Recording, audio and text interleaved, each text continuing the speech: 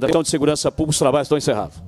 Tendo em vista a legislação em vigor, recomendo a todos que evitem o uso de materiais e realização de pronunciamento que abordem os temas eleitorais ou caracterizem pedido de voto. A presidente do parágrafo 1 do artigo 102 do, do Regimento Interno dispensa a leitura, leitura da ata. Leitura da ata, reunião. presidente. Leitura da ata.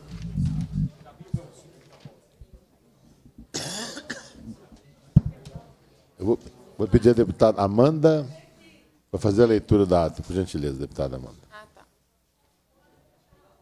Ata da 11ª reunião ordinária da Comissão de Administração Pública na sessão legislativa ordinária da 20ª legislatura em 9 de 6 de 2024. Às 14h41 minutos, comparecem à reunião a deputada Nayara Rocha e os deputados Roberto Andrade, Rodrigo Lopes e João Magalhães, substituindo o deputado Leonídio Bolsas, por indicação da liderança do BAM.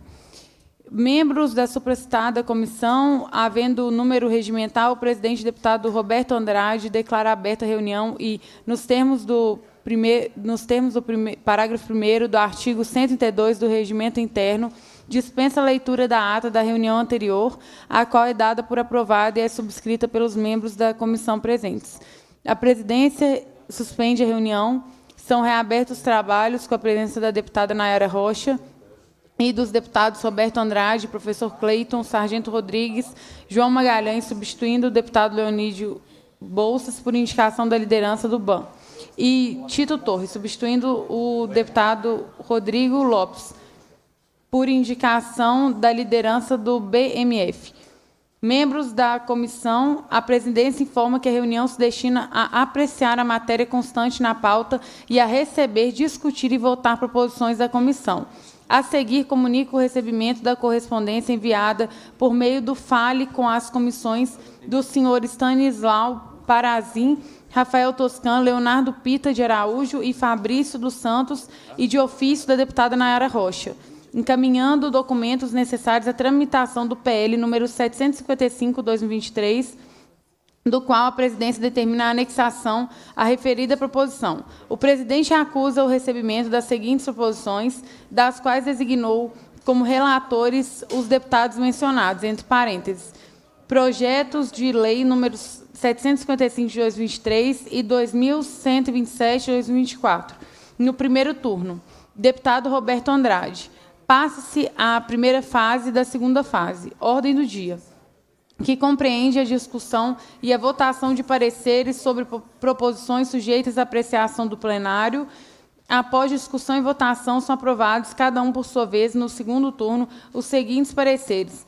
Pela aprovação do projeto de lei complementar número 25 de 2023, designado relator deputado Roberto Andrade, pela aprovação da forma do vencido em primeiro turno dos projetos de lei números 1105 2019 e 368 e 1895 2023. Designado relator deputado Roberto Andrade. 542 2023. Designada relatora deputada Nayara Rocha. E 684, 1328 e 1431 2023 designado relator deputado Sargento Rodrigues, e pela aprovação na forma do substitutivo número 1 do projeto de lei número 3.794-2022, designado relator, o deputado professor Cleiton. Após discussão e votação, são aprovados cada um por sua vez. No primeiro turno, os seguintes pareceres. Pela aprovação na forma do substitutivo número 1 da Comissão de Constituição e Justiça dos projetos de lei número 172-2023, Relator, deputado Leonídio Bolsas. E 2.129 e 2024. Relatora, deputada Nayara Rocha. Pela aprovação na forma do substitutivo número 2 do projeto de lei número 755-2023, redistribuída a proposição, deputado Roberto Andrade e pela aprovação com a emenda número 1 da Comissão de Constituição e Justiça do projeto de lei número 2534/2024, designado relator deputado Roberto Andrade. Um parecer sobre o projeto de lei número 5.501/2018 no primeiro turno deixa de ser apreciado em virtude de solicitação de prazo regimental pelo relator. Deputado Roberto Andrade, que avocou a relatoria em sua redistribuição. Passa-se a terceira fase da segunda parte. ordem do dia, que compreende o recebimento, a discussão e a votação de proposições à comissão. Submetidos à votação, cada um por sua vez, são aprovados os seguintes requerimentos 8.724, 8.740, 8.741, 8.750, 8.874, 8.940, 8.987, 9.019, 9.020, 9.021, 9.043, 9.068, 9.125, 9.152, 9.155, 9.314, 9.319, 9.320 e 9.355.224. São recebidos pela presidência para posterior apreciação os seguintes requerimentos. Número 9.318, 2024, do deputado professor Cleiton e da deputada Beatriz Cerqueira, em que requerem seja encaminhado à Polícia Civil do Estado de Minas Gerais, PCMG, pedido de informações consubstanciadas em cópia do inquérito número 2024 024 0028 03 001 01 555 11 0188 em tramitação na primeira delegacia especializada de combate à corrupção oriundo da audiência pública realizada pela comissão em sua 21ª reunião extraordinária em 18 de 6 de 2024 número 9407/2024 da deputada Lohana, em que requer seja encaminhado ao Instituto Mineiro de Agropecuária IMA pedido de providências para as seguintes melhorias na estrutura física da barreira sanitária do IMA, situado, situada na SEASA, em Juiz de Fora. Construção de instalações sanitárias adequadas para uso exclusivo da equipe da barreira sanitária do IMA melhorias na educação, na estrutura física das salas cedidas pela SEASA, visando proporcionar condições mínimas de conforto e privacidade, avaliação e implementação de medidas para garantir a segurança e integridade das instalações utilizadas. Número 9409 2024 da deputada Beatriz Cerqueira, em que requer seja encaminhado ao Instituto Mineiro de Gestão das Águas, IGAM, pedido de providências para a realização de estudos periódicos e a garantia do direito de informação sobre a qualidade da água na bacia hidrográfica do Rio Doce às pessoas atingidas pelo rompimento da barragem de Fundão, com a necessária definição dos critérios de análise, considerando o cenário de contaminação pelos rejeitos tóxicos número 9.417-2024, da deputada Beatriz Cerqueira, em que requer seja realizada audiência pública para que a Companhia de Saneamento de Minas Gerais, Copasa, e os, seguinte, e os Serviços Autônomos de Água e Esgoto, SAES, dos municípios de Aimorés e Conselheiro Pena, apresente à população atingida pelo rompimento da barragem de Fundão e Mariana a metodologia, o cronograma e os resultados das análises da qualidade da água que abastece os municípios da bacia hidrográfica do Rio Doce. Número 9.420-2004, da deputada Beatriz Cerqueira, em que requer seja encaminhada ao Instituto Mineiro de Gestão das Águas, IGAM, e à Companhia de Saneamento de Minas Gerais, Copasa, pedido de providências para que se manifestem a respeito dos relatórios sobre os problemas nos sistemas de abastecimento hídrico dos municípios assessorados pelo programa AEDAS, Médio Rio Doce, apresentados durante a 19ª reunião extraordinária da comissão e sejam encaminhadas às referidas entidades o relatório preliminar sobre o sistema de abastecimento hídrico e danos relacionados ao direito à água dos municípios assessorados pelo programa AEDAS Médio Rio Doce e o relatório danos relacionados do direito à água em decorrência do rompimento da barragem de Fundão, apontados pela população atingida dos municípios assessorados pelo programa AEDAS Médio Rio Doce. Número 9.421-2024, da deputada Beatriz Cerqueira, em que requer seja encaminhado ao Ministério Público Federal, MPF, em Belo Horizonte, pedido de providência para solicitar a força-tarefa do Rio Doce, escuta ativa para as localidades que ainda não estão inseridas no eixo 9, do processo de reparação previsto no, no termo de transação e de ajustamento da conduta de Rio Doce, com vistas à inserção dessas novas comunidades para que os danos por ela sofridos possam constar no processo, conforme encaminhamento da 19ª reunião extraordinária da Comissão de Administração Pública, número 9474/2024, da deputada Beatriz Cerqueira, em que requer seja realizada audiência pública para debater as alterações propostas pela concessionária Metrô BH no projeto de melhoria e ampliação da rede metro, metroferroviária da região metropolitana de Belo Horizonte, objeto do contrato de concessão da prestação dos serviços de gestão, operação e manutenção da referida rede.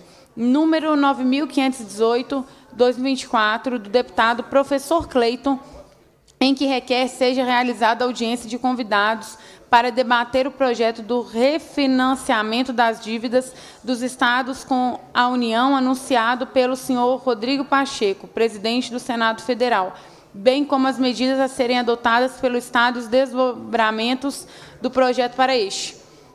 Número 9.519-2024, deputada Lohana, em que requer seja encaminhado à Secretaria de Estado de Planejamento e Gestão, CEPLAG, e à Polícia Civil do Estado de Minas Gerais, PCMG, pedido de providências para que o Estado se organize para a realização de um multirão no município de Divinópolis, visando a expedição do novo modelo da carteira de identidade. Número 9.581-2024, deputada Lohana, em que requer seja encaminhada à Secretaria de Estado de Justiça e Segurança Pública, SEJUSP, e à Secretaria de Estado de, Estado de Planejamento e Gestão, CEPLAG, pedidos de providências para que seja dado cumprimento aos artigos 142 da Lei número 24.313, de 28 de 4 de 2023, que estipula que o Poder Executivo encaminhará à Assembleia em até um ano contado da data de publicação desta lei, projeto de lei complementar, regulamentando a emenda à Constituição do Estado número 111 de 29 de junho de 2022 e considerando que a lei número 24313 de 2023 foi publicada 29 de 4 de 2023, seja encaminhado o referido projeto de lei complementar a esta casa, garantindo-se assim o cumprimento do, do dispositivo legal mencionado.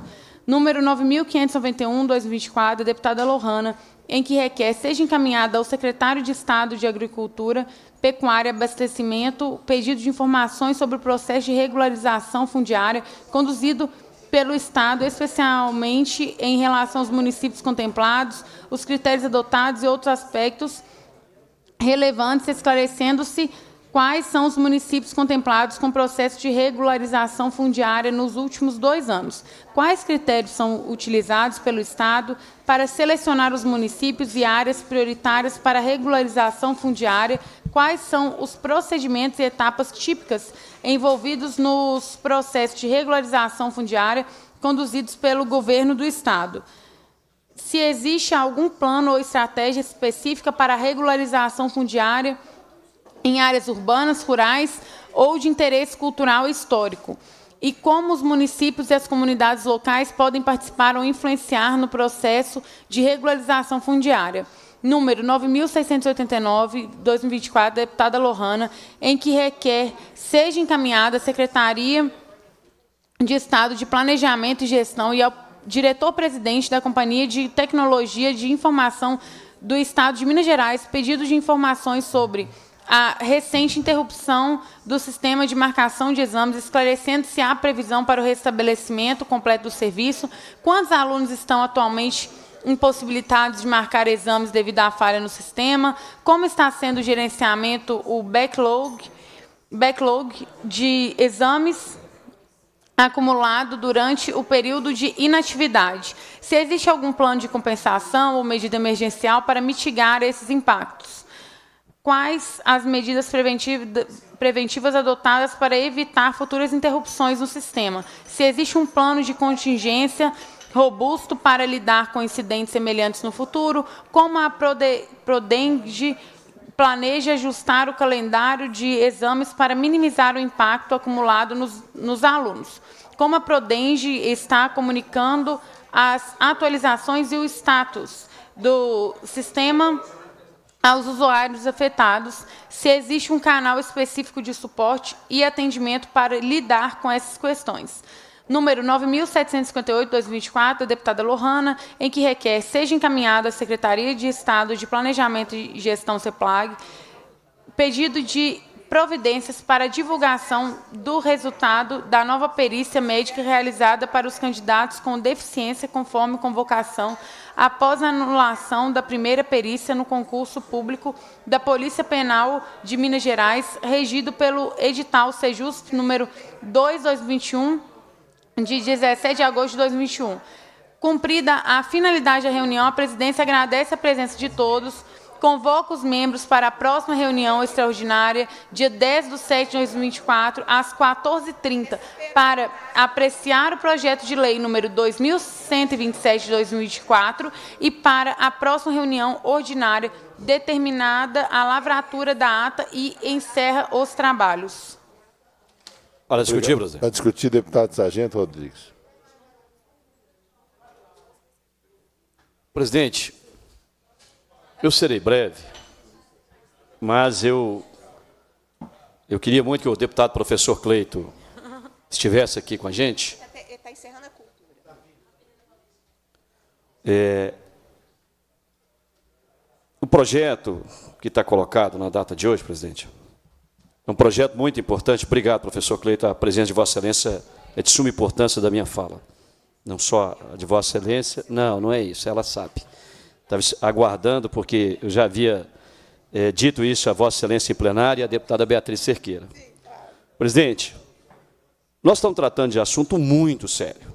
O artigo 2 do projeto de lei 2127 é, diz o seguinte: o SSA, o Serviço Social Autônomo de Gestão Hospitalar, atuará na prestação de serviço público de saúde exclusiva e gratuitamente aos usuários do Sistema Único de Saúde, o SUS. Ou seja, nós estamos criando, nós estamos criando um órgão que vai atuar de forma privada, terceirizando a saúde, aquilo que é dever do Estado. Eu vou precisar me ausentar, presidente, para é, por questões de, de ordem familiar. Mas eu não poderia deixar de, de registrar essa comissão. Nós estávamos no plenário quando a comissão foi aberta. Presidente, o deputado Sargento Rodrigues, o deputado professor Cleide, o deputado Beatriz Cerqueira são membros efetivos dessa comissão. vou fazer um apelo a Vossa Excelência. Quando Vossa Excelência for abrir a comissão, Vossa Excelência tem todo o direito de chamar suplente, outros deputados para abrir, mas nós estávamos no plenário. E a gente tem a gente tem que ficar muito esperto com a comissão para membros titulares não ser surpreendido com a abertura, com a votação, com o termo da comissão. Eu quero deixar isso aqui registrado. Eu não acho de bom ouvido, presidente. Eu não acho uma política é, por parte de Vossa Excelência, enquanto presidente da comissão, não acho correto que faça isso com os membros efetivos da comissão. Eu presido a Comissão de Segurança Pública da Assembleia por, pelo sétimo biênio. Eu fico todos os dias ligando para os titulares, para que eles venham. O, o assessor Zé Alberto é testemunha do que eu estou falando. Eu cobro dos titulares. Na eminência dos titulares não vir, eu peço o apoio do suplente, eu peço para substituir. Porque se a gente adotar essa política de bola nas costas, é, suplente, não suplente, e deixar os titulares lá no plenário, nós também podemos usar também o regimento que não vai agradar a Vossa Excelência. E eu quero deixar isso aqui consignado, porque depois que eu chegar aqui na comissão e Vossa Excelência encontrar a reunião, por exemplo, encerrada, Vossa Excelência não assusta, porque eu vou também usar o regimento. Estou fazendo um apelo a Vossa Excelência, um apelo público. Nós três titulares da comissão estamos lá. Não é correto que o presidente né, é, ignore. Eu não vou falar que Vossa Excelência não pode, não. Jamais faria isso.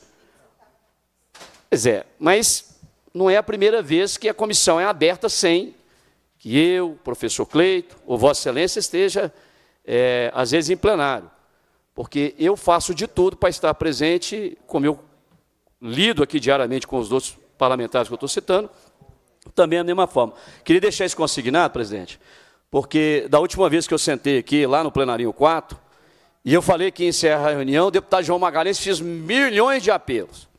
Não, que é deselegante, é isso, e eu poderia ter feito, porque se é uma coisa que eu aprendi nessa casa foi manejar o regimento interno. Então fica aqui registrado o meu desabafo, mas ao mesmo tempo o apelo para que Vossa Excelência conclame os titulares da comissão para que venha abrir. É uma matéria ruim, matéria desgastante, o governo mais uma vez está querendo promover a, a substituição do serviço público e entregar a quem ele deseja, sendo que isso aqui é uma política pública extremamente necessária que seja prestada pelo poder público. Isso aqui é uma forma de enfraquecer a saúde pública, de ignorar os servidores da saúde, toda a política que é prestada com carinho, com zelo, com dezenas de anos de carreira. Vou repetir, Vossa Excelência tem toda a autonomia, enquanto presidente da comissão, de tomar a decisão que assim desejar.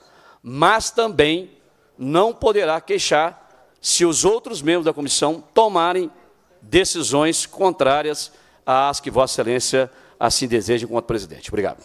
Para discutir, presidente.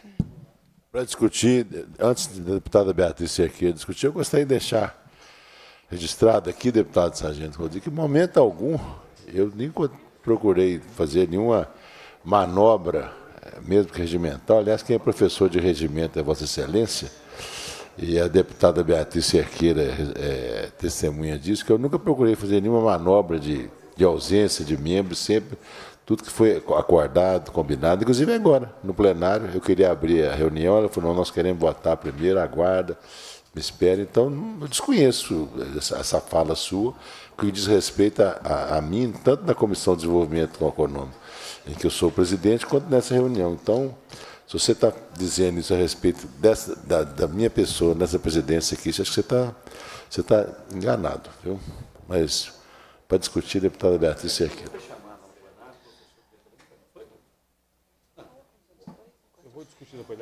Presidente, é, eu quero aproveitar esse, é, a ata foi extensa, né? Teve muito trabalho ontem.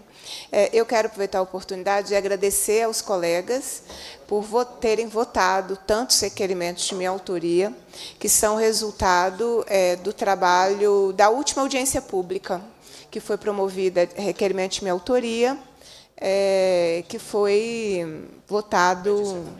É, e eu, quero pedir encerramento, presidente. Está reunião Antes de você pedir encerramento, você está suspendendo. Discutindo a ata. Obrigada, presidente. Isso. A gente está no primeiro momento da, da reunião, que é a discussão da ata. Eu dizia que tinha sido uma ata bem extensa, porque a comissão fez vários processos de votação na sua reunião ordinária. E eu quero aproveitar, presidente, e justificar a minha ausência. Nosso bloco estava representado pelo deputado professor Cleiton, é, e assim que terminou a votação no plenário, que aconteceu nessa terça-feira, eu fui me encontrar com os profissionais da educação que estavam realizando a assembleia, aqui na porta da Assembleia Legislativa, é, convocada para as 14 horas. Então, como nós né, somos uma equipe aqui, o deputado professor Cleiton cuidou de todas as tarefas do nosso bloco na comissão, e eu fui a, a fui encontrar né, com os meus colegas de profissão reunidos em assembleia. Então, quero primeiro justificar, mas quero também agradecer, porque os colegas votaram requerimentos de minha autoria muito importantes, vários deles relacionados à última audiência que nós realizamos, onde nós recebemos é, pessoas, comunidades de vários municípios, questionando e denunciando os problemas no, no, direito à água depois do rompimento da barragem, aquela barragem que rompeu em 2015 e teve toda a consequência na bacia do Rio Doce. Então, quero agradecer, porque são requerimentos muito importantes e significativos. Quero também, presidente, cumprimentar os trabalhadores da Rede FEMIG. São quase são cinco horas da tarde Vocês estão aqui, no mínimo, desde as duas horas da tarde. É, essa reunião foi marcada para as 2h30. Ela foi suspensa porque nós estávamos em votação de projetos no plenário. É, e, antes dela ser retomada, nesse mesmo ambiente aconteceu a comissão, a abertura da Comissão de Cultura e a, aconteceu a Comissão de Segurança Pública. Então, eu estou primeiro explicando um pouco, gente, porque a dinâmica da Assembleia, às vezes, ela é um pouco é difícil de, de, de, de, acompanhar. Não é? Essa comissão, essa reunião é uma reunião extraordinária, tem como pauta única o projeto que vocês são contra, e eu também sou contra, é, mas o projeto ele não será votado nesta reunião. Então, eu aproveito para compartilhar com vocês um pouco a dinâmica. Por quê? Não será votado porque nós estamos aqui. Nós que defendemos a rede FEMIG, nós que lutamos contra a privatização, é, e por esse motivo, então, o regimento interno da Assembleia é, possibilita que o relator possa distribuir o parecer que chama distribuir em avulso. Isso quer dizer é, que não será votado hoje. Então, quando chegar o momento da discussão do projeto, é, o, provavelmente o que vai acontecer será isso, porque se o relator não distribuir em avulso o parecer, nós pediremos vistas, o que quer dizer que só pode ser pautado 24 horas depois. Não é uma opção.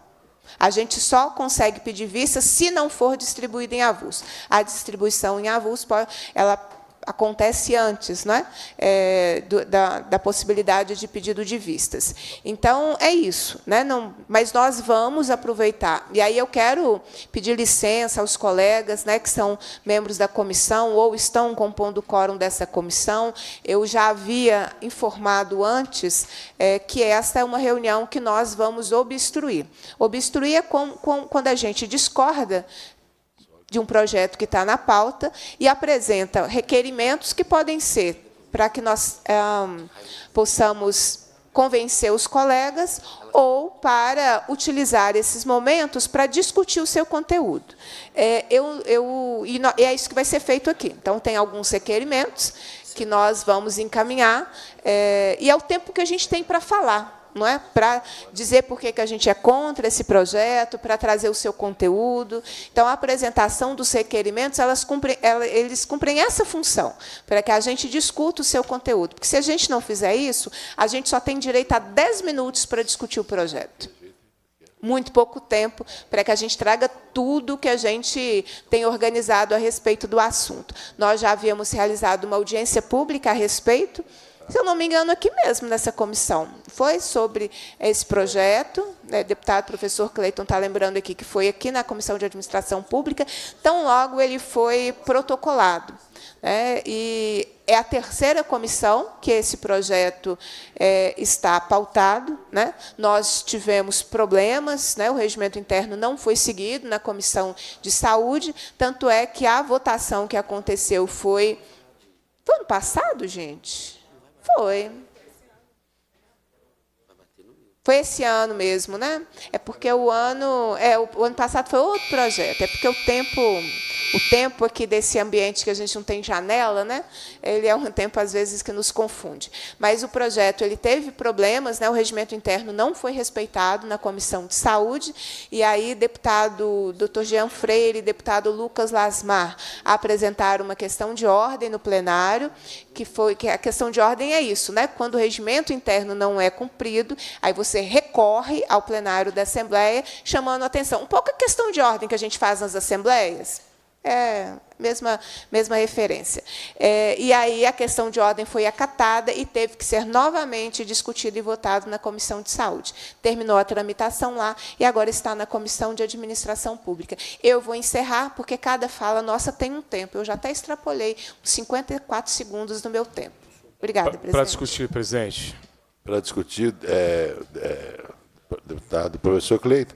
E a Beatriz até me lembrou muito bem. Ixi é, a gente geralmente aqui, deputada Bela, a gente sempre nunca cortou a, a fala dos deputados, é. menos audiência pública, os convidados, a gente sempre deixou os deputados falar à vontade, nunca nem campainha nem nada. Mas como nós estamos num processo de obstrução, então na reunião anterior nós combinamos que a gente ia é, acompanhar o prazo regimental, porque é uma votação é, obstrução. de obstrução, então a gente tem que ter um tratamento também é, é diferenciado. Então, para discutir. Vossa Excelência não usou o termo técnico? Sim.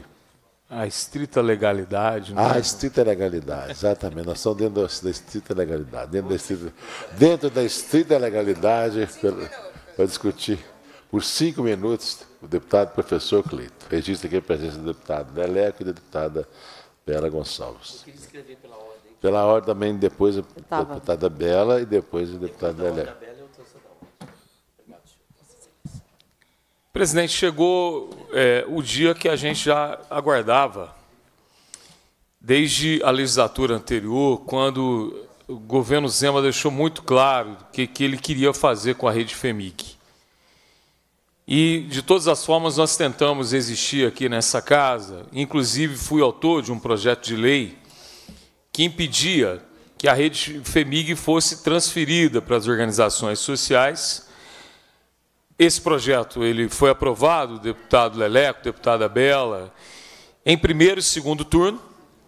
Quando foi para a sanção do governador, ele vetou e depois nós não conseguimos ter votos suficientes para derrubar o veto. O que é mais triste é que parece que nós não aprendemos com o que a pandemia trouxe. Nós não aprendemos, deputado Roberto, com os erros que já foram cometidos na história. Exatamente 100 anos depois de uma primeira grande pandemia na nossa história, quando, por conta do que aconteceu com a gripe espanhola, surgiram as Santas Casas, uma série de fundações, e se viu naquele momento que era necessário o fortalecimento da saúde pública no Brasil. E, de repente, depois de tudo que nós vivenciamos, o que o governo Zema faz é fragilizar a nossa saúde pública. Esse projeto que está aqui para ser votado, ele é tão trágico que até a consultoria dessa casa, que é uma das mais preparadas do país, não conseguiu compreender alguns artigos e algumas questões que estão postos nesse projeto. Mas é, a clareza aqui uh, uh, da intenção, ela nos leva a analisar, a deputada Beatriz Cerqueira, que é, de fato, um projeto de destruição da rede FEMIG, que é um projeto que joga é, na lata do lixo da história tudo aquilo que foi construído a duras penas, de uma fundação hospitalar do Estado de Minas Gerais que nos orgulha naquilo que ela representa. E aí eu sempre deixo claro a vocês, servidores da FEMIG, que fazem parte dessa história e que não sabem o que acontecerá é, se esse projeto passar e for aprovado aqui, com as carreiras, com é, aqueles que hoje estão é, dentro da rede FEMIG, do que representa, por exemplo, um João 23 para a saúde não só do Brasil, mas da América Latina, que é o maior centro de tratamento com queimados da América Latina, que é um centro de traumatologia com, especializações é, em várias áreas afins. Pouca gente sabe, deputado Leleco Pimentel, mas a antiga colônia Santa Fé, que se encontra em Três Corações e que pertence à rede FEMIG, é o maior centro especializado em cura de feridas da América Latina. Fora outros espaços que eu não preciso mencionar aqui, e que simplesmente vão ser implodidos se esse projeto aqui for aprovado. É bom lembrar que ninguém aqui é contra a organização social. Elas fazem um papel fundamental no âmbito do terceiro setor e tem uh, uma importância enorme de cobrir as brechas deixadas pelo Estado em vários espaços. Mas está mais do que provado que na educação e na saúde, principalmente, organização social não deve estar presente. Porque eu fiz um desafio e até hoje eu quero ouvir algum deputado aqui dessa casa que me mostre onde a organização social deu certo nesse país fazendo gestão de saúde. Onde? Onde? Porque ninguém consegue mostrar. Nós estamos tentando debater esse tema aqui faz seis anos e não aparece um parlamentar aqui para dizer, não, professor Cleiton, lá em Goiânia. Não. Porque lá foi um antro de corrupção. Aqui em Contagem a gente sabe o que aconteceu. A gente sabe o que aconteceu em Patos de Minas. E o pior, os mesmos que implodiram a saúde pública em vários lugares são aqueles que estão de olho com aves de rapina nesse patrimônio que nós defenderemos até a morte aqui, chamado FEMIG. Obrigado, presidente. Pela ordem, a deputada Bela Gonçalves. Obrigada. Oi, agora foi. Obrigada, presidente. Queria cumprimentar toda a mesa, em nome do senhor, mas especialmente cumprimentar os trabalhadores da Rede FEMIG, que, como a Beatriz disse, estão aqui desde antes das duas horas da tarde, mas que se mobilizam constantemente para lutar pelo SUS, pela saúde pública do povo mineiro. Cumprimento todos vocês na figura do Carlinhos, Carlos Dasteng, grande liderança é, de defesa do SUS, Carlinhos. É um orgulho caminhar ao seu lado. Bom, gente, professor Clayton bem disse que a rede FEMIG ela tem hospitais de referência em todo o estado de Minas Gerais, incluindo o melhor hospital para atendimento de urgências, que é o João 23, importantíssimo para Belo Horizonte, importantíssimo para Minas Gerais. A rede FEMIG é uma rede ampla, um patrimônio do povo mineiro, uma empresa pública que deve cumprir os preceitos do SUS de garantia de democracia, prestação do melhor serviço possível à população. Agora, está bastante claro, bastante evidente, que o governo Zema tem um projeto de destruição da FEMIG. E essa destruição ela começa pela perseguição aos trabalhadores. Vamos lembrar que no ano passado os trabalhadores estiveram muitos meses em greve diante de uma situação de perseguição e imposição de horas extra ao conjunto dos trabalhadores da FEMIG, gerando jornadas extenuantes e colocando até em xeque o direito das mães com crianças com deficiência ou crianças atípicas.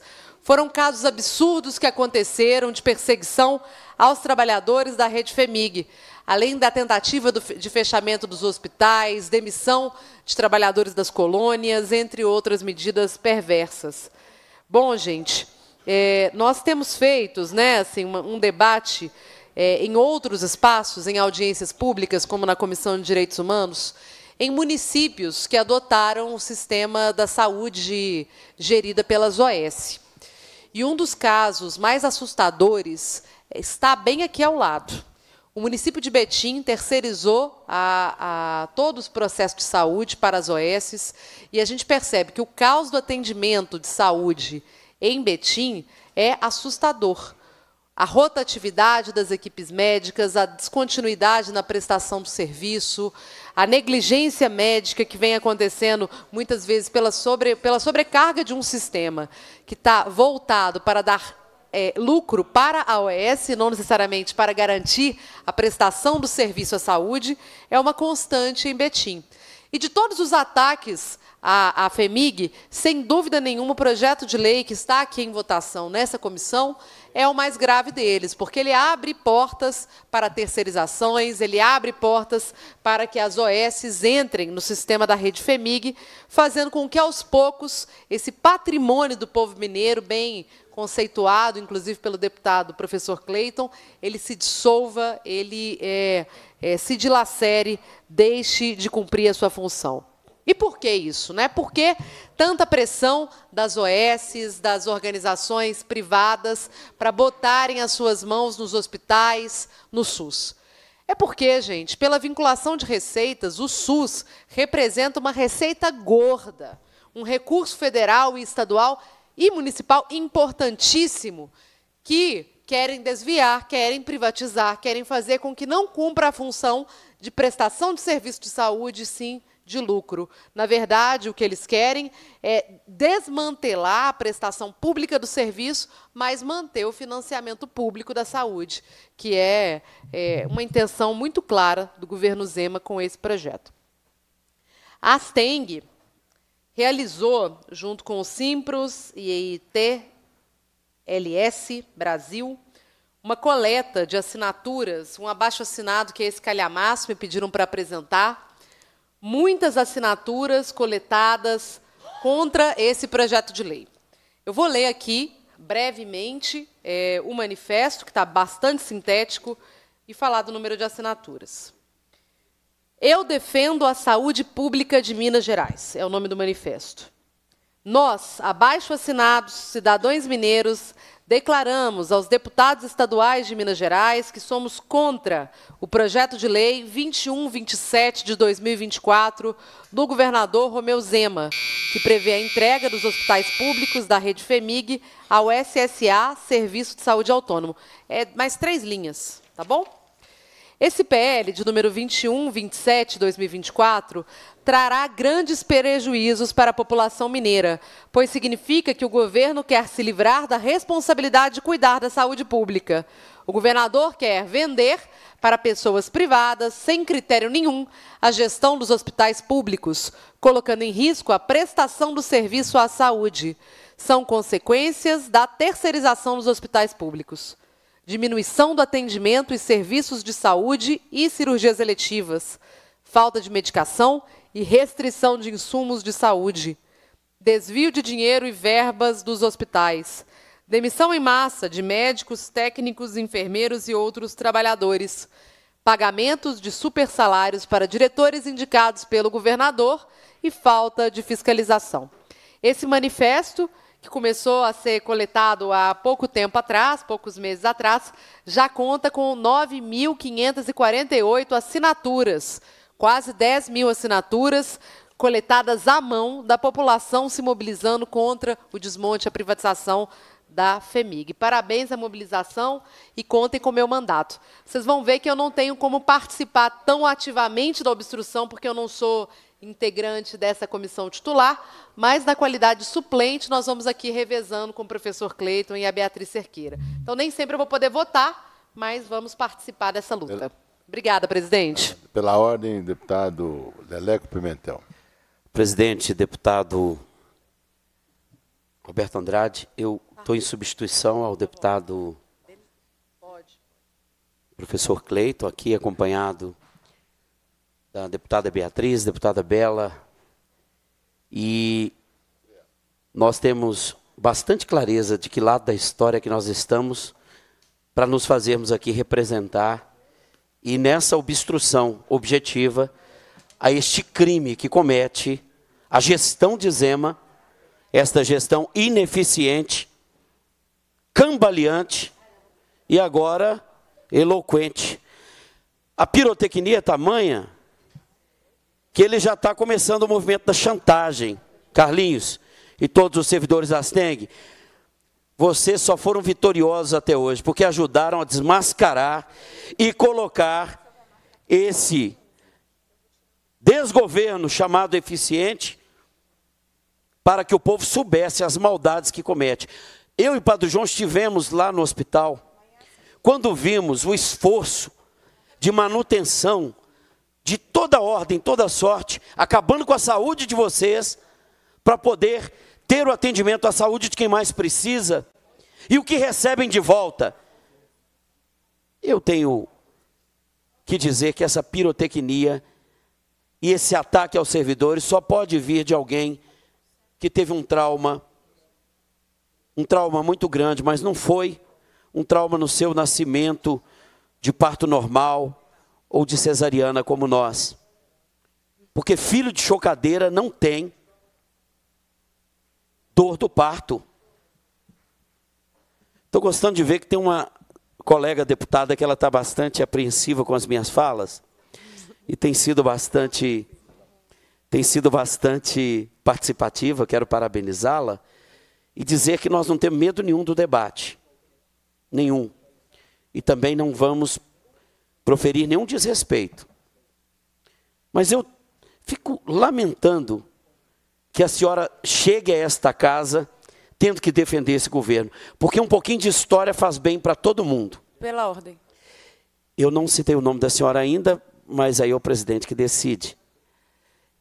Ô, Deputada, vamos esperar ele concluir os cinco minutos dele, depois você, você, você passa você pela ordem para não concluir ele, tá? Para a gente deixar a coisa mais. É, queria dizer que não há de minha parte nenhuma ofensa, eu também não citei o nome.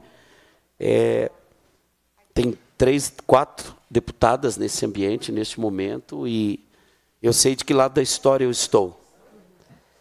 Eu queria dizer que, para nós que vimos os ataques acontecerem, não só na questão da privatização, de apontar como se fosse aquelas lojinhas mequetrefe do Zema, eu acho que ele deveria colocar agora uma terceirização nas lojas dele, que está tudo quebrada. Entra lá para comprar para você ver se não é só produto sucateado. É o mesmo que ele fez com os hospitais. Por que, que ele não experimenta? Eu queria falar com o deputado Cleiton. Por que, que ele não experimenta terceirizar a administração daquelas lojas Eletrozema ou até dos postos de gasolina, até os caminhões, está tudo por aí quebrado. E eu quero dizer que quem quebra suas próprias lojas, quebrando as pernas e maltratando servidores lá, contratados no regime CLT, talvez não tenha tido formação para compreender o papel do servidor público. Dizer para Zema o simples e o notório: não há política pública que se sustente sem servidor. Você não pode apontar uma gestão chamando isto para a responsabilidade do Estado numa proposta de privatização que é um escárnio colocada na cara do nosso povo para que ele consiga consolidar a quebradeira que ele provocou em todos os setores. Todos os setores onde Zema botou o dedo, o troço faliu. E agora ele está começando com uma chantagem, qual é? Dizendo que, começando a pagar a dívida, o Estado quebra em três meses. Ainda falou, eu estou avisando, eu contribuí com a minha parte. Agora que eu já ruí a carne, vocês ficam com o osso. Porque parece brincadeira o que a gente está vivendo. E a gente tem que conversar com a linguagem mais popular possível. Portanto, para ser bem objetivo, presidente, Zema elegeu servidor público como inimigo, Zema destruiu as estruturas do Estado e Zema acabou com a política. Porque a gente não tem mais como intermediário aqui os representantes do executivo.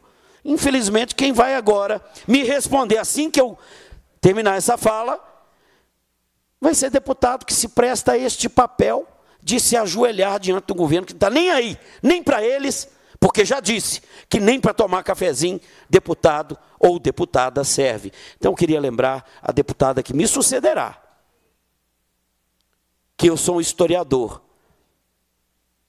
E ela não deve ter feito a leitura histórica do papel que ela veio representar aqui na Assembleia.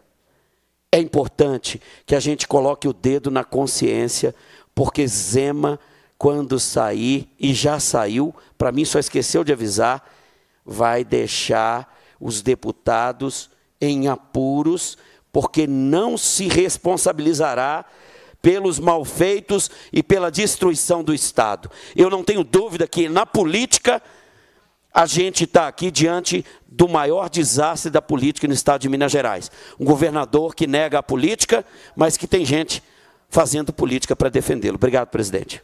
Deputado Leleco, Pela ordem. nós vamos passar a palavra para a deputada Amanda Teixeira Dias, que pediu pela ordem. E vamos continuar nosso trabalho, lembrando que nós estamos aqui estritamente, como diz o Cleito, estritamente dentro da legalidade, da, em cumprimento dos tempos, do, do tempo. Então, deputada Amanda Teixeira, né, a palavra está com você e nós vamos para a gente continuar os nossos trabalhos. Deputado, É, eu creio que o senhor quis dar a entender ou dizer que eu não estaria defendendo os interesses do povo. Mas eu não sei se o senhor sabe que eu sou da região do Barreiro, aqui em Belo Horizonte. E um dos maiores orgulhos de nós, barreirenses, é o Hospital Célio de Castro, que tem o Serviço Social Autônomo de Gestão Hospitalar.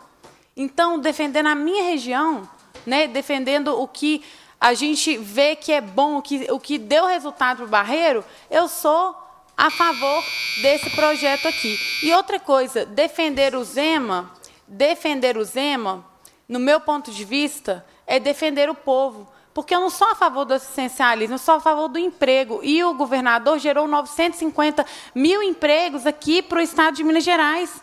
Também houve a classificação diamante em ranking da transparência. Então, ele trabalha com a transparência, ele gera emprego, e é com muito prazer que eu defendo o governador Zema. E o que deu certo no Barreiro, na minha região, também vai dar para Minas Gerais. Eu vou pedir para suspender a reunião por três minutos, tá? Dois minutos.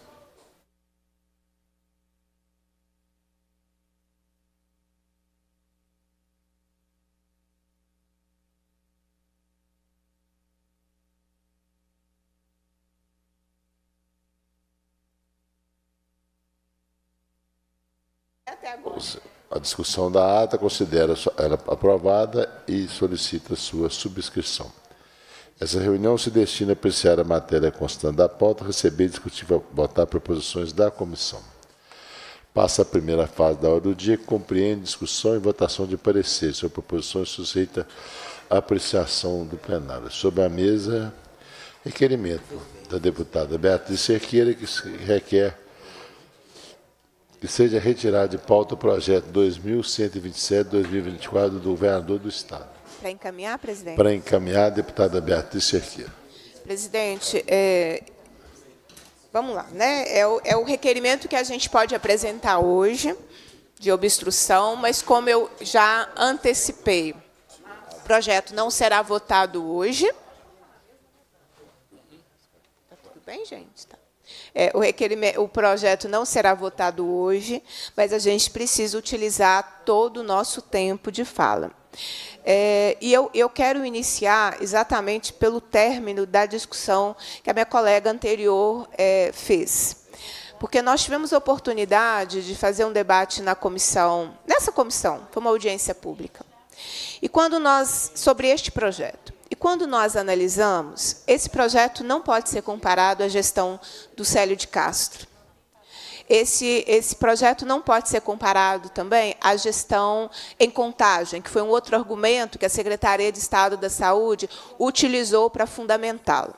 É, esse projeto de lei, ele, na verdade, ele contém várias situações muito específicas é, que fazem com que a gente tenha muito medo desse, do conteúdo desse projeto. E aí, no tempo que eu tenho, eu vou compartilhar esse debate aqui com os colegas e com toda a sociedade que acompanha a discussão.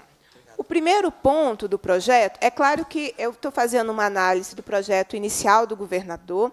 Aconteceram algumas mudanças na, no, no parecer da Comissão de Saúde, mas não são mudanças estruturais. Não são mudanças estruturais, então não retira é, as nossas críticas em relação a esse projeto. É, e eu quero também, presidente, eu vou apresentar isso na nossa próxima reunião, dizer que este projeto tem uma manifestação é, do Conselho Estadual de Saúde, também tem uma manifestação do Sindicato dos Médicos. Na próxima reunião, eu vou fazer a leitura dessas manifestações. A deputada Bela já trouxe né, a mobilização social feita pelo Sindipros Asteng em relação ao seu conteúdo. E aí vamos pensar aqui se nós analisarmos o conteúdo do projeto de lei, que está na pauta de discussão aqui dessa comissão de administração pública, né, que é o projeto de lei ah, 2127 de 2024. O primeiro ponto que eu quero chamar a atenção E é por isso que ele não pode ser a, a, experiência, né, o modelo de gestão do Célio de Castro, modelo de gestão de outra administração municipal, eles não podem ser transportados para esta para defender esse projeto. Porque o primeiro ponto de crítica a esse projeto, desde o início dele, da sua tramitação, é que não há regra que determine a forma jurídica é, desse serviço social autônomo de gestão hospitalar. Portanto, ele pode assumir o formato de fundação, associação ou formato jurídico especial insuscetível de perfeito enquadramento nas categorias previstas no Código Civil. O governo Zema ele pegou uma, ele criou um, um, um formato que dificultará controle social, participação social, é, favorecerá esquemas de corrupção. Nós estamos identificando aqui amanhã, amanhã ou quando a comissão for convocada, eu terei condições de apresentar essas discussões. Então é um modelo de uma gestão extremamente concentrada sob o comando do governador. Isso nos chamou muito a atenção é, e, portanto, diferente de todos os modelos que existem atualmente sobre serviço social autônomo. Um outro aspecto que chama a atenção, que o governo tem apresentado o tempo inteiro a, o argumento de que será um piloto. Só que, gente, entre o discurso, a gente precisa ler o texto do projeto. Não tem piloto, não. É para a rede FEMIG toda. Esse é um alerta importante. Não, vamos melhorar. E aí eles falam que é, é um piloto, que é para um hospital só. Não é o que está no conteúdo do projeto. Se esse projeto for aprovado pela Assembleia Legislativa, está autorizando uma, um, um, esquema de privatização em toda a rede FEMIG. Isso que o deputado professor Cleiton alertou, que desde a legislatura passada nós lutamos contra projetos de privatização da rede FEMIG aqui na Assembleia Legislativa. Não é a primeira tentativa. Esse já é um outro modelo de tentativa de privatização que o governo tenta aprovar aqui na Assembleia. Então, um primeiro ponto que eu queria chamar a atenção. Um segundo ponto do debate de conteúdo desse projeto seu patrimônio é privado, constituído por doações e legados. Em caso de é, extinção, esse patrimônio deve ser revertido para as entidades instituidoras, na forma estabelecida no Estatuto. Esse é um outro ponto em relação ao patrimônio, que deixa de ser público. E que depois, é, a dinâmica de controle desse patrimônio será feito de que forma? Não tem respostas a essa questão no conteúdo do projeto de lei. Vamos continuar aqui os pontinhos. O terceiro ponto do projeto original, uh, o parágrafo 2 do artigo 5 eu, eu vou tomar como referência o projeto original, porque a gente ainda não sabe que, que vai ser, daqui a pouco a gente vai ficar sabendo, assim que esse requerimento for votado, mas qual é o conteúdo que vai ser apresentado pelo relator. Se ele vai concordar com o projeto original, se ele vai concordar com o substitutivo que veio da Comissão de Constituição e Justiça, se ele vai concordar com o substitutivo que veio da Comissão de Saúde, então, qual é o, o, o projeto, o texto, né, que será votado, apresentado aqui nessa comissão, nós vamos saber só depois que o relator distribuir o seu parecer. Então, a gente tem aí com várias possibilidades, todas ruins, todas ruins em relação ao conteúdo desse projeto. Mas eu dizia que o parágrafo 2 do artigo 5 do projeto original delega ao Estatuto do Serviço Autônomo a definição da denominação e competências das três diretorias que são mencionadas no próprio é, no próprio projeto de lei, que cria no, o que cria enorme lacuna concedida ao poder público a possibilidade de estabelecer amplo direcionamento para a atuação da entidade. Vamos entender isso de novo. Esse foi um problema que eu tenho certeza que o Célio de Castro não vive e nenhum outro modelo de rede de município vive. É, que esse projeto ele é genérico demais. Ele não estabelece regras que, de fato, poderia ser um modelo que pudesse avançar na gestão da saúde. Mas ele, ele é tão omisso em relação às regras que vai ficar tudo para depois. O depois que não passa pela Assembleia O depois que não vai passar por controle social, que não vai passar pelo Conselho Estadual de Saúde, que não vai passar sequer pelo direito de informação dos trabalhadores. Então, é um projeto muito grave, porque ele cria um modelo, uma autorização legislativa tão genérica que tudo vai, ou tudo não, mas grande parte vai ser resolvido depois. E isso é muito grave. Vamos continuar. O quarto ponto, que era o que eu levantava, sobre controle social e participação social. É, o projeto original ele, ele estabelece que todos os membros que compõem os órgãos do Serviço Social Autônomo são indicados pelo governador do Estado. A gente teve algumas alterações é, na última comissão, mas eu repito, gente, na tramitação, e aí eu quero fazer um alerta, que serve não só para esse projeto. Por isso que a gente tem que acompanhar a comissão a comissão, primeiro e segundo turno. Já aconteceu aqui na Assembleia de você ter um projeto votado em primeiro turno, aí ele volta para a comissão, e aí você ter um segundo turno, que o projeto é completamente diferente do aprovado no primeiro turno. Então, a situação aqui é, é, a gente, eu me atenho, né, enquanto você não tem um processo de diálogo, ao que originalmente o governo está propondo. Porque pode ter saído dos pareceres das comissões aqui do primeiro turno e pode voltar tudo no segundo turno. E pode ser um projeto muito pior no segundo turno, do que no primeiro turno. Nós sabemos que essa é a dinâmica que pode acontecer aqui na Assembleia. Meu tempo acabou, né, presidente? Então, eu continuo a argumentar no próximo requerimento. É, me permita, presidente, só rapidamente, esse é um requerimento de retirada de pauta. Né? que nós temos os aí eu quero por exemplo explicar uma questão se vossa excelência me permitir que no momento dos encaminhamentos é, dos requerimentos regimentalmente pela regra é, da Assembleia, só os membros titulares que podem falar. Então, esse é o momento que a deputada Bela está como membro titular e eu como membro titular. Então, é, somos nós, né, pelo, pelo Bloco Democracia e Luta, que temos o direito de fazer encaminhamento do requerimento. É, e depois que esse requerimento for votado, quem sabe, né, a gente convence todo mundo a retirar de pauta, mas caso a gente não convença, é, a gente vai entrar na próxima etapa, que é quando será distribuído em avulso o parecer. E aí todo mundo tem acesso a ele, eu já é, tomo a liberdade, presidente, de sugerir que é, a Asteng leve o parecer, vamos entregar para vocês, para que vocês façam uma análise detalhada para quando for convocada uma nova reunião, que será amanhã, né, de acordo com todas as informações aqui da comissão. E aí, amanhã, a gente vai dar continuidade às discussões é, do, desse projeto. Eu terminei, presidente. Para discutir, presidente? Para encaminhar, encaminhar é. deputada Bela Gonçalves. Obrigada, presidente. Bom, acho que Eu acredito que esse requerimento, presidente, ele precisa ser retirado de pauta, porque o governo ainda não se prestou a participar de uma audiência pública em que explicasse de forma concreta para os trabalhadores, para os usuários da saúde, o que pretende com esse projeto de lei.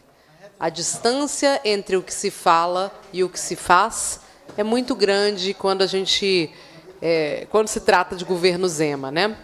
É, a discussão, né, que a Beatriz mencionou, de que isso é um projeto piloto, queremos fazer isso em um hospital para ver se dá certo, mas no texto da lei, é, abrir espaço para a privatização de toda a rede FEMIG é um desses exemplos de como que o governo não tem sido transparente com a população.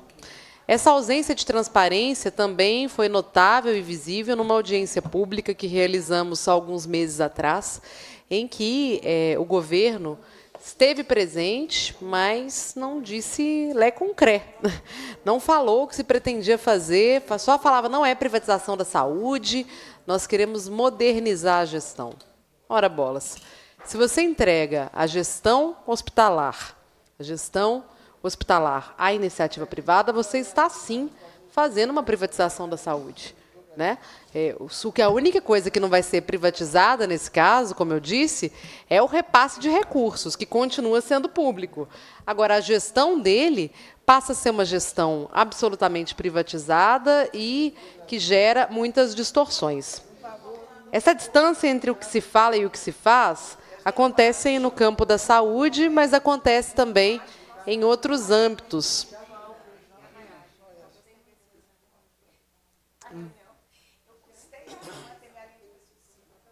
É. Talvez a gente pudesse. Oferecer um café para ele. Né? Pronto.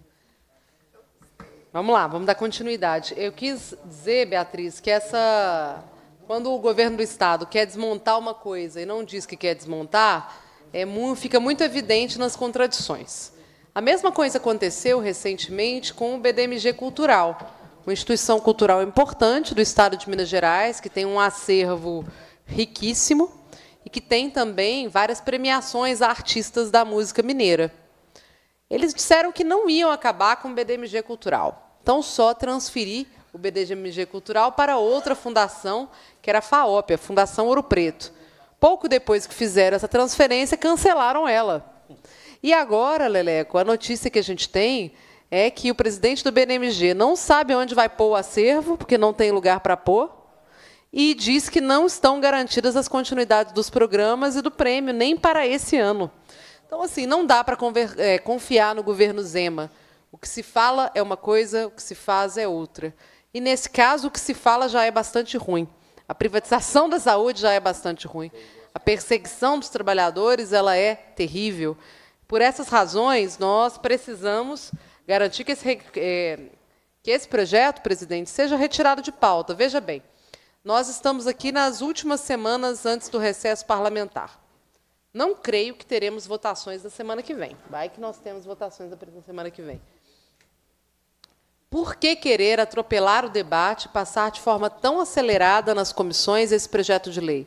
Penso que a administração pública, essa comissão, deveria fazer uma nova audiência pública para discutir os impactos na administração pública desse projeto de lei.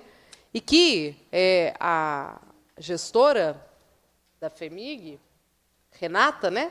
A presidenta da FEMIG, Renata, possa ser convidada ou então convocada para responder às dúvidas que foram apresentadas pelos trabalhadores e pelas trabalhadoras da rede FEMIG.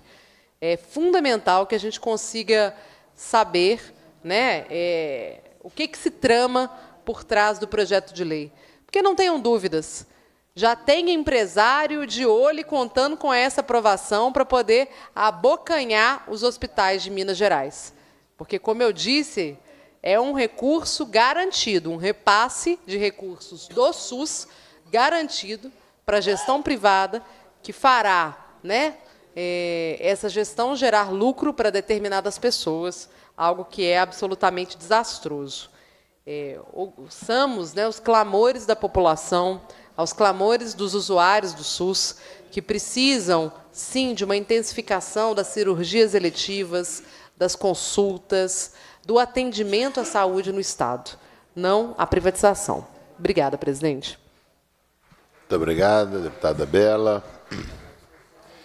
Em votação, o requerimento deputada Beatriz Cerqueira. Os deputados que a que votam com a deputada Beatriz Cerqueira né, pela retirada de pauta, permaneçam como estão. Aqueles que querem rejeitar o requerimento, se manifestem. Rejeitado o requerimento. Declaração de voto. Declaração de voto, deputada, nós vamos fazer depois da distribuição do avulso. Passa a primeira fase da ordem do dia, compreende a discussão e votação dos pareceres sobre proposições sujeitas à apreciação de, do plenário. Projeto de lei de autoria do Governo do Estado, número 2127-2024, na qualidade de relator, determina a distribuição do avulso do parecer. Antes da, antes da declaração de voto da deputada Beatriz Cerqueira, de encerrarmos a reunião, eu queria, deputado Leleco, é, independente das opiniões diversas, aqui de opiniões diversas e opiniões diversas, deputado, deputado Leleco. O deputado Leleca, apesar de ser um deputado muito inteligente, muito preparado. Para que dia? Que dia? Você fala Não, você me esqueceu. Então não chama. Eu falei, não. Você mais. Não, vai ter declaração.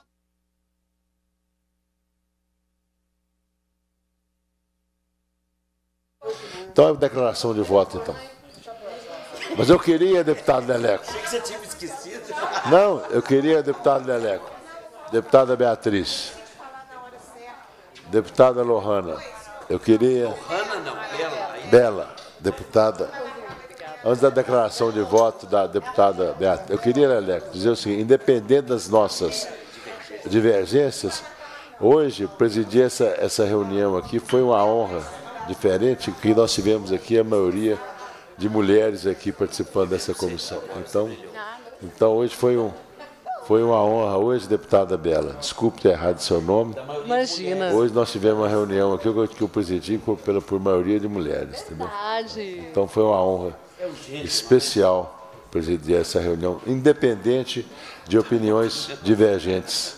Não, da sua, de opiniões divergentes também, que nós temos opiniões diferentes, posições diferentes. Para a declaração de voto, a deputada Beatriz Cerqueira. ser chato. né? Presidente, eu pedi a declaração de voto para fazer uma manifestação muito importante. É, eu não quis fazê-la porque a gente estava ainda no conteúdo do debate, é, mas eu quero aproveitar esse momento aqui da comissão para declarar a minha solidariedade e meu apoio à Universidade Federal de Minas Gerais. A UFMG tem sido atacada nos últimos dias e a reitora Sandra tem sido pessoalmente atacada nos últimos dias, porque a reitora está defendendo a universidade e está defendendo os interesses da comunidade acadêmica, da comunidade da universidade. Em relação, eu estou me referindo é, aos ataques é, proferidos em função da defesa que a reitora tem feito de que a estocar não pode ser realizada no do lado da Universidade Federal de Minas Gerais. Eu sou presidenta da Comissão de Educação, Ciência e Tecnologia, Ciência e Tecnologia. Então, nós fizemos já duas visitas técnicas à universidade, uma ao biotério, a deputada Bela Gonçalves participou desta audiência, onde nós conhecemos aquele importantíssimo equipamento público que alimenta uma rede nacional relacionada à pesquisa. Nós estamos falando do desenvolvimento de pesquisas essenciais à população, de várias doenças, que pode ter um trabalho comprometido e pesquisas podem ser atrasadas em anos de acordo com os impactos da estocar, porque o biotério ele fica do lado de onde é, acontecerá estocar. Na sequência, nós fizemos outra visita técnica ao Hospital Veterinário da Universidade Federal, onde eu tive a oportunidade de ver as obras que estão sendo realizadas, que não são obras de um simples recapeamento, são obras estruturantes ao lado da universidade, ao lado do complexo veterinário, de hospital veterinário, que vai comprometer o trabalho de todo um complexo relacionado ao atendimento e à vida dos animais. Mais do que isso, lá tem um laboratório que faz um controle e análise do leite de milhares de produtores, que é um dos poucos laboratórios do país que fazem essa análise. Está tudo documentado. Então, a reitora Sandra está defendendo a universidade e tudo o que ela produz. Errados estão os organizadores e os patrocinadores da Estocar, que, desconhecendo a realidade, insistem em manter um empreendimento com grande com um grande impacto, é, não só na universidade, mas em tudo que ela produz e, portanto, impactos à pesquisa, à, à vacina, à vida de animais. Então, eu quero esse tempo dedicado à declaração de voto, fazer uma declaração de apoio à universidade. E o mais assustador, que no último período, para fazer esses ataques e tentar é, é, justificar o que não tem justificativa, começaram a tentar desacreditar a universidade. É uma vergonha. O poder econômico vem aqui, vai explorar um território, deixando consequências graves e permanentes, que nós nem sabemos quais são, porque não tem estudo, gente. Vai realizar uma estocar sem nós sabermos, tem ter sido realizado um estudo para entender que impactos seriam possíveis no biotério, que impactos seriam possíveis no complexo do hospital veterinário. E eu só estou falando daquilo que a Comissão de Educação visitou. Se eu falar de todo, toda a universidade, os seus impactos, eles são ainda maiores todas as nossas visitas documentadas, relatórios já aprovados na Comissão de Educação, e é lamentável o que os organizadores estão fazendo, é, e quem quer que seja, que esteja alimentando essa situação absurda de tentar desacreditar a Universidade Federal de Minas Gerais e atacar a reitora Sandra. Então, eu quero deixar aqui a minha posição pública de apoio à universidade, à reitora. Nós votamos na Comissão de Educação, nessa quarta-feira, um requerimento de uma moção de apoio à reitora, como posicionamento assinado por vários parlamentares dessa casa. E eu quero deixar esse registro público, porque porque a Universidade Federal de Minas Gerais é um motivo de muito orgulho para todos os mineiros e mineiras. E ela precisa ser cuidada, zelada e respeitada. E não essa campanha para tentar desacreditá-la, que é o que a gente fez no último período, que a gente viu no último período aqui é, em Minas Gerais. É muito lamentável, né? é uma vergonha. É, Belo Horizonte vai sediar um, um, empreendimento que chega desrespeitando uma das melhores universidades públicas da América Latina. Isso deveria incomodar todos nós.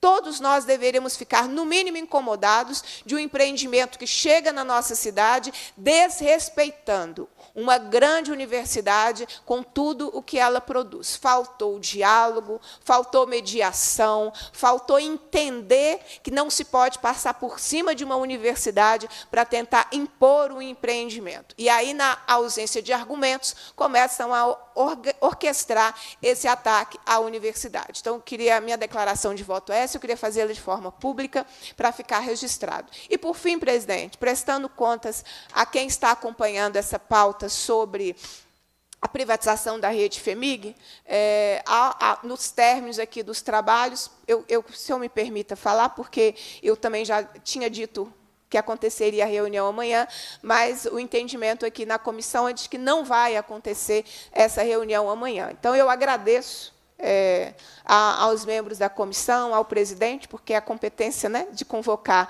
a próxima reunião é sempre do presidente da comissão, e pelo que ficou o entendimento aqui, não terá a convocação dessa, dessa reunião. Então, eu, eu antecipo os agradecimentos em relação é, a essa decisão. Para a declaração de voto, deputada Amanda Teixeira Dias. Presidente, ilustres deputados. É, não, não, você. Presidente, ilustres deputados, no começo da discussão, um deputado disse que não conhecia nenhum hospital é, com administração SSA que funcionasse, e quando eu falei do Hospital do Barreiro foi consenso aqui, né? E depois ele até se ausentou. Mas o que me preocupa é que os colegas deputados de esquerda, eles demonizam a privatização, a iniciativa privada. Mas eu tenho um questionamento. Se cada um aqui é, passar mal, vocês preferem ir hoje para um hospital público ou para um hospital particular? E vou contar uma coisa: o hospital particular é iniciativa privada, é um hospital privado. Então, assim, fica esse questionamento. Muito obrigada. Declaração de voto, deputada. Eu vou abrir aqui Tá uma, uma, uma exceção aqui, antes de você, Bela, para você encerrar. Então vai, pa- pela já ordem estamos- pro... Já que nós estamos aqui com a maioria feminina, eu e o Lelé que estão demais aqui, vou dar, vou dar três minutos Três minutos. Eu vou ser breve.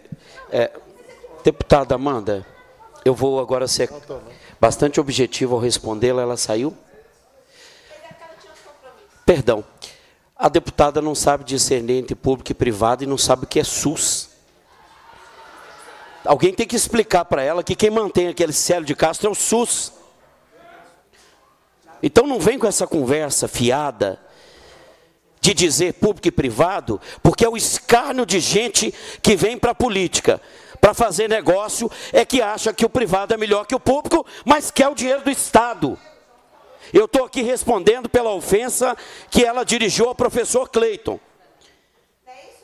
Me perdoe, mas é filha de um ex-ministro. Não sabe discernir as coisas. É uma pena, a gente tem que ter que dizer que, infelizmente, o inelegível colocou como ministro quem não soube, de forma alguma, ajudar a filha a compreender a diferença entre público e privado e lembrá-la que aqueles que querem mamar nas tetas do Estado fazem isto. Dizem que é privado, mas que é 100% do dinheiro público. Eu estou respondendo para que a deputada compreenda que aqui não tem debilóide. Aqui as pessoas têm consciência das coisas. A senhora sabe o que, que é 100% SUS? É dinheiro público que mantém as relações que vocês querem tornar privadas para ter lucro. É lamentável que a senhora venha fazer qualquer tipo de ofensa à minha inteligência. Porque aí não dá. E o deputado que aqui não estava me fez ter mais energia para responder que nós temos divergência profunda de visão da vida e de visão da coisa pública. E nós não queremos que gente como vocês ocupem lugares públicos para tirar o recurso dos mais pobres e colocar para os ricos. E colocar que aqueles que têm plano de saúde tomem o lugar do leito do SUS, tomem o lugar que o mais pobre precisa, que é do Estado. Pela Público e privado, público e privado é a confusão que aqueles que querem as benesses do Estado, aliás, em 1808, o Estado brasileiro foi criado para continuar a dar benefício para gente branca que aportou lá em Portugal 20 mil pessoas para baixar no Rio de Janeiro para continuar fazendo da política o que vocês fazem hoje. Então me perdoe, eu sei que o deputado gentil que foi nos permitiu esta palavra, mas eu não posso fazer cara de deboche daqueles e daquelas que levam a sério um debate da envergadura que estamos tendo. Que Zema quer é encher o bolso de gente que faz da política um negócio, uma extensão do umbigo. Por isso é que ele quer colocar estas OSCs, essas empresas, empreiteirinhas, para encher o bolso de dinheiro e acabar com a saúde do povo mais pobre. O SUS é completamente oposto do que vocês querem fazer com o Estado, porque vocês querem o dinheiro público para colocar no bolso de gente que deveria saber o que é uma enxada, o que é saber não ter condições de acesso à saúde, de acesso à educação, porque aqueles que recebem do povo o voto querem restringir a sua participação, querem restringir seu atendimento. Com todo perdão, podemos brincar, podemos ter divergência de opinião, mas rir, debochar da nossa inteligência é no mínimo, é no mínimo um desrespeito. Obrigado, presidente. Pela ordem. Eu vou passar a palavra para a deputada Amanda. É, antes eu vou dizer para o deputado Leleco, sem direito à réplica nem à réplica, viu, deputado? questão de opinião, né, eu não queria emitir nenhuma, a questão de opinião, de ponto de vista, a questão do Hospital Barreiro, ele é 100% SUS, mas ele tem um modelo diferente de gestão. Aliás, eu falei com a deputada Amanda, eu gostaria muito de conhecer esse modelo de gestão que está sendo feito lá. Mas é SUS. Era um momento Em momento nenhum disse que não era. 100% dinheiro público, que ocorre no, no Agora, Hospital do Barreiro. o O que se- eu o que quis se comparar são as gestões. Questão de gestão. Questão de Mas gestão. nós não vamos discutir isso aqui, mas num momento oportuno, eu acho que eu gostaria da gente até organizar lá, um, fazer uma visita ao hospital para entender esse modelo de gestão. Que nós temos hoje dificuldade na questão da gestão dos nossos hospitais, não só público como privado, como das fundações. Eu estou vivendo um problema sério no Hospital da Viçosa. Você foi, inclusive, foi lá, Leleco, tentando, tentando também ajudar os hospitais de Viçosa. A gente está tendo. Nós, nós estamos tendo problemas sérios em, to- em todos os hospitais aí. Então, o objetivo é realmente resolver a questão da saúde é, no nosso estado, que é SUS Hospital do Barreiro. Se a, se a gestão é uma gestão que está funcionando, vamos lá conhecer esse, esse, esse modelo de gestão do, do hospital é, Célio de Castro. Eu vou passar a palavra para a deputada Amanda, já que ela foi citada aqui, depois para a deputada Bela Gonçalves, e vamos encerrar nossa reunião aqui. Como disse a Beatriz, nós não vamos convocar a reunião, nós vamos distribuir o avulso e, posteriormente, nós vamos marcar a reunião para a votação do PM. É, Tá presidente, ilustres deputados, o senhor deputado disse que eu estaria debochando da sua inteligência, mas o senhor está debochando da minha. Em que momento eu disse que o Hospital Célio de Castro não era SUS? Eu falei sobre a gestão. A gestão é privada, assim como a gestão de um outro hospital privado. O que difere é que no Hospital Célio de Castro o recurso, o recurso é público. Em um hospital privado, o recurso é privado. Agora, eu estava me referindo é, exclusivamente à gestão. E ser filha de, de ex-ministro é um grande orgulho para mim, para toda a minha família. Eu acredito que isso não me torna inferior em nada. Quem sabe um dia o senhor seja convidado para ser ministro do Lula também. Ser presidente, sucessor de Lula. Ótimo. Obrigada. Declaração de voto, deputada Bela Gonçalves. Tá certo. Não, eu passei aqui para parabenizar o trabalho também da deputada Bia, que preparou os requerimentos de hoje. Agradecer o presidente da comissão e parabéns aos trabalhadores que venceram. Venceram essa luta hoje e, pelo visto, amanhã também. Não vamos ter essa votação desse projeto nefasto e vamos ter um fôlego maior para a luta, para mostrar que a privatização da gestão hospitalar não é o caminho. É, sei muito bem que a privatização da gestão de órgãos públicos, da saúde, da assistência, da educação, eles muitas vezes conseguem fazer até prédios bonitinhos, mas a gestão ela fica tão cara que ela drena outros recursos e investimentos que precisam ser feitos a partir da gestão privada, geram pouca transparência e muita corrupção. Um exemplo né, pode ser o próprio custo do Hospital Célio de Castro e o custo também, pelo fato da gestão ser privada, e também o custo das EMEIs aqui no município de Belo Horizonte. Depois das PPPs, os centros de saúde e EMEIs feitas a partir de parcerias público-privadas, por exemplo, com a Odebrecht, a Odebrecht abocanha grande parte dos recursos do SUS, que sendo executado diretamente pelo poder público, poderia se transformar em mais profissionais, mais medicamentos, mais consultas eletivas, gerando a possibilidade, inclusive, de se zerar as consultas eletivas. Eu pego um outro exemplo de contagem, que conseguiu reestatizar a sua saúde e fez isso trazendo dignidade para muitos hospitais com a gestão da prefeita Marília Campos. Eu acho que a gente precisa, sabe, presidente, de forma bastante democrática, debater essas questões aqui e chegar num que é melhor para o povo de Minas Gerais, que é a garantia do SUS público de qualidade para toda a população. Obrigada.